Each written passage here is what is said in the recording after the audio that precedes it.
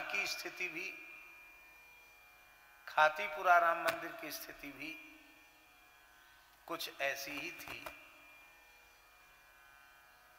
बहुत पुरानी बात नहीं है। परम पूज्य प्रातः स्मरणी महामंडलेश्वर श्री महंत श्री बालकृष्ण दास जी महाराज, ललितपुर वाले महाराज जी, जो यहाँ रहकर पढ़े भी, राम मंदिर में रहकर उनका अध्ययन भी हुआ, पढ़े भी। शास्त्री तक पढ़े और बीए एमए तक पढ़े अंग्रेज़ी पढ़े महाराज। यहाँ कॉलेज की शिक्षा संस्कृत की शिक्षा महाराज जी की यहीं हुई। ललितपुर वाले महाराज जी की। और महाराज जी कहते थे कि अद्भुत संस्कृत का ए, संत सेवा का स्थान था ये खातीपुरा राम मंदिर। क्योंकि स्टेशन से निकट बस स्टैंड से निकट तो निरंतर संत पहुँचते रहते थे और षडवेश की सेवा होती थी। षडभेश का अर्थ है, किसी भी परंपरा का, किसी भी संप्रदाय का साधु किसी भी समय पहुँच जाए, राम मंदिर में सबके लिए प्रसाद था, सबके लिए रोटी थी। महाराज जी कहते थे, भगवान को भोग लगने के बाद पाँच सात मूर्ति का प्रसाद रख दिया जाता था। शाम तक जब भी साधु आते चले जाएँ पहले प्रसाद पाओ, तब आसन लगाओ। रात में भी ब्यारू के बाद पाँच सात मूर्ति की गरम गरम ब्यारू रख दी जाती थी। रात्रि को एक डेढ़ बजे भी कोई साधु आवे तो यहाँ महात्मा जो थे, वो कहते थे, भाई, प्रसाद पाओ। तो महात्मा कहते, हम तो 12 बजे के बाद पाते नहीं। आपका नियम है कि आप 12 बजे के बाद कुछ पाते नहीं। और हमारे स्थान का नियम है कि हम भूखे साधु को आसन लगाने देते नहीं।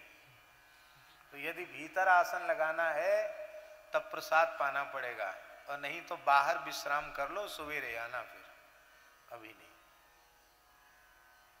अरे भाई, हमारा नियम है, भाई तुम्हारा, आपका नियम छूटेगा, उसका दोष हम अपने सिर पे लेते हैं, आप प्रसाद पाओ। पता नहीं कहाँ से चले, कब से चले आप, ऐसी संत सेवा वहाँ होती थी।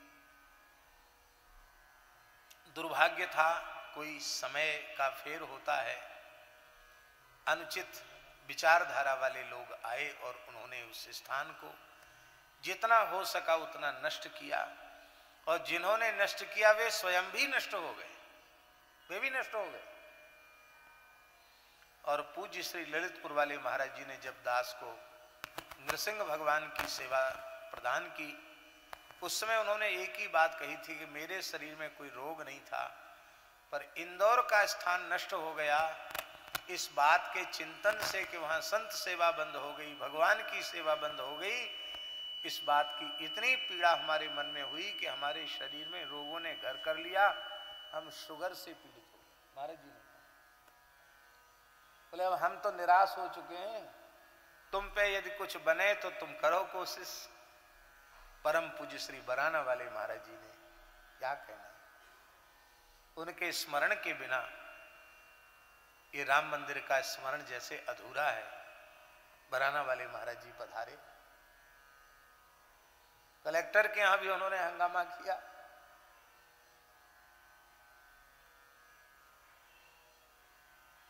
गर्जई तरजई सहज असंका, मानव ग्रसन चहत हैं लंका। वो हनुमान जी वाला रूप महाराज जी ने दिखाया, महाराज कलेक्टर काँप गया। मैं भी आत्मदाह करता हूँ। हज़ारों साधु आत्मदाह करेंगे। उन महापुरुष का संकल्प। जैसे तैसे भगवान के पुजारी के रूप में राम गोपाल दास की नियुक्ति हो गई। राम मंदिर के पुजारी के रूप में इनकी नियुक्ति हो गई।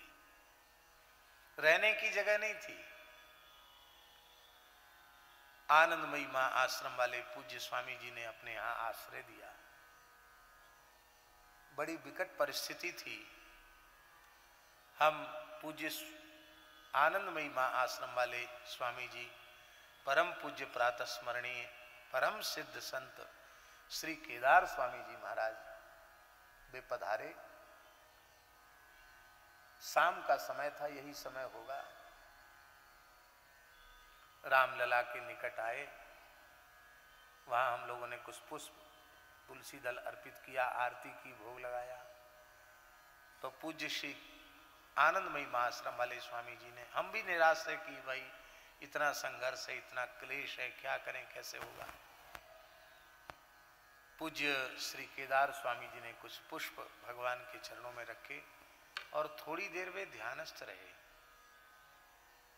एक डेढ़ मिनट, दो मिनट नेत्र बंद करके ऐसे झुके रहे। फिर सहसा खड़े हुए और एक भावावेश में बोले, मंदिर बन गया। हमको तो बना हुआ दिख रहा मंदिर। ये शब्द थे उनके। मुझे मंदिर बना हुआ दिखाई पड़ रहा है। कब बनेगा? ये राम जी जाने, लेकिन मंदिर बनेगा। कोई विघ्न बाधा नहीं रहेगी, सब समन हो जाएगा। बस आप राम गोपाल दास को आशीर्वाद दीजिए कि ये धैर्य नखों में डटे रहें।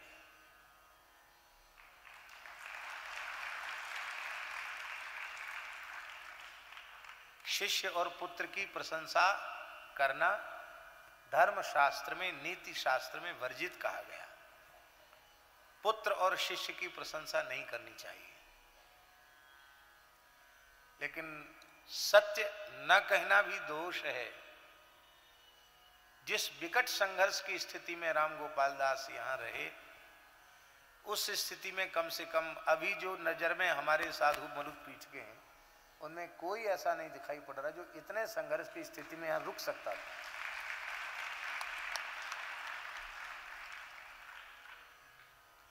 सब तरह की अनुकूलता में तो सब रह सकते हैं।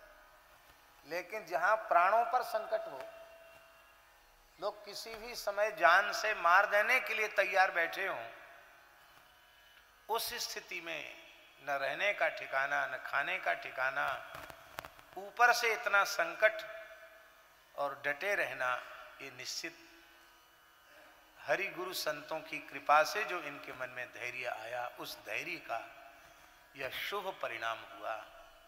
कि आज यह शुभ घड़ी इंदौर के इतिहास में पुनः परावर्तित हुई। पूज्य श्री लक्ष्मण दास जी महाराज पचकुया के श्री महंत अशोक जी, वे ही एक इस ट्रस्ट में ऐसे थे कि जो कमर कस के हम लोगों के पक्ष में खड़े थे। बाकी तो सब खिलाफ ही थे। और कुछ पचकुया वाले महाराज जी ने भी इतना सहयोग दिया कि उनके ऋण से भी हम कभी उऋण नहीं हो सकते। बहुत सहयोग किया उन्होंने। किसी भी परिस्थिति में और जैसा उन्होंने समर्पित भाव से सहयोग किया उनके सामने ही मंदिर का निर्माण आरंभ हो गया, विजय हो गई। मंदिर का निर्माण भी आरंभ हो गया। वे बड़े प्रसन्न थे मंदिर को देख करके।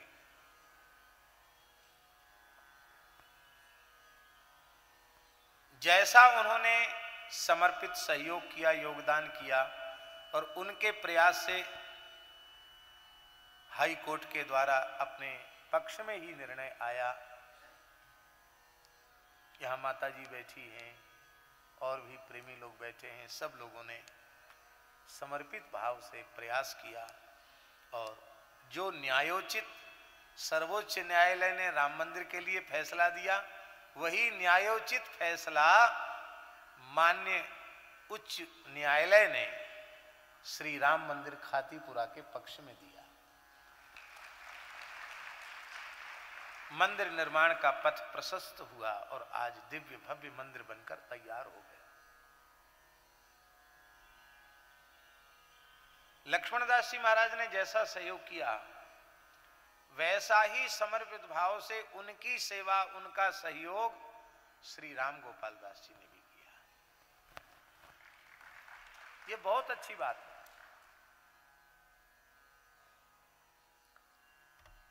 जिसने हमारे ऊपर किसी भी प्रकार का उपकार किया हो, उसके प्रति यदि हम कृतज्ञ नहीं होते हैं हृदय से तो हम कृतज्ञ माने जाएँगे। सारे पापों का प्रायश्चित है, पर कृतज्ञता का प्रायश्चित नहीं है। राम गोपाल दास जी ने एक कृतज्ञ संत की भूमिका निभाते हुए पचकुया वाले महाराज जी को भी पूरा सहयोग किया और अंतिम क्षण तक उनकी सेवा का अवसर, सौभाग्य भी उन्हें मिला। और उनके अपने संकल्प के अनुरूप ही वो बार बार हमसे कहते थे, सभाओं में कहते थे। हमको तो कितनी बार उन्होंने कहा कि राम गोपाल दास जी को कह दो, आपकी कथा होगी, मैं इनको चादर उड़ा दूँगा। और जाने के मुश्किल से पाँच सात दिन पहले, पाँच सात दिन पहले क्या और कम? है? दो दिन पहले, दो दिन पहले भी कहा, अरे, इनको महंत बनाना है, इनको महंत बना महाराज, मैं जल्दी अब अब मेरे शरीर का कोई ठिकाना नहीं है। दो दिन पहले का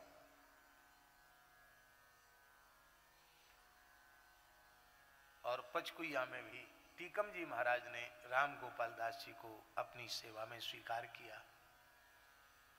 इंदौर के साधु समाज का भरपूर सहयोग इन्हें प्राप्त हुआ।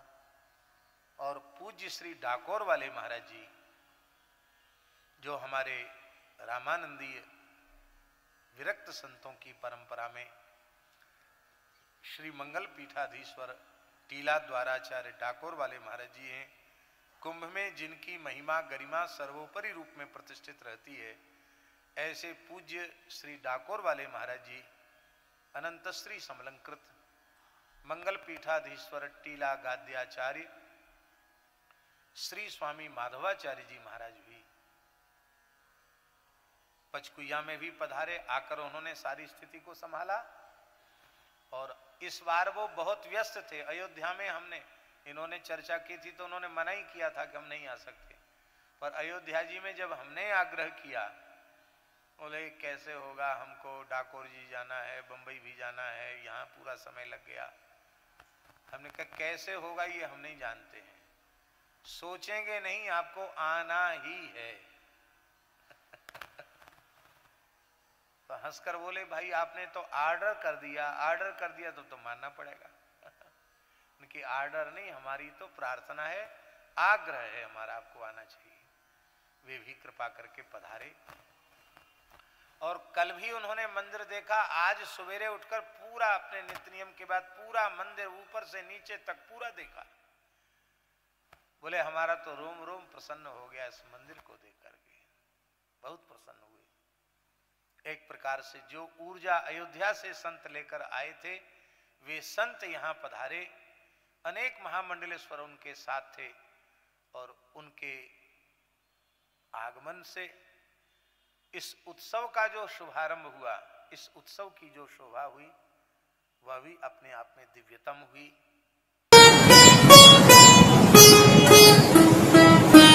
श्री सीताराम, प्रतिदिन सत्संग एवं दर्शन के लिए श्री महाराज जी के ऑफिशियल चैनल को ज़रूर सब्सक्राइब करें।